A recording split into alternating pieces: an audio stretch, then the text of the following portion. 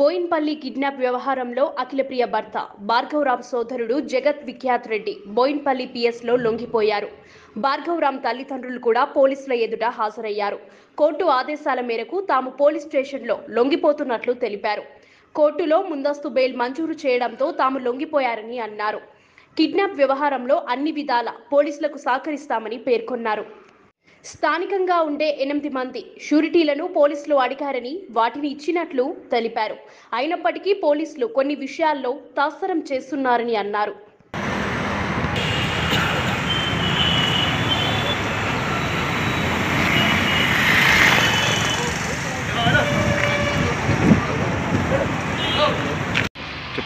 మాకు ఇచ్చిన డేట్ ప్రకారం కోర్టు హాజరయ్యే టైంకి మనం ఈరోజు హాజరవుతున్నాము. హాజరయ్యి మా జామీందారులను కూడా పోలీస్ స్టేషన్కి తీసుకొచ్చి ఫార్మాలిటీస్ ఏమైనా ఉంటే ఫినిష్ చేయడానికి పొద్దున్నే ట్వెల్వ్ థర్టీ ఆ టైంకి మేము పోలీస్ స్టేషన్ చేరుకోవడం జరిగింది.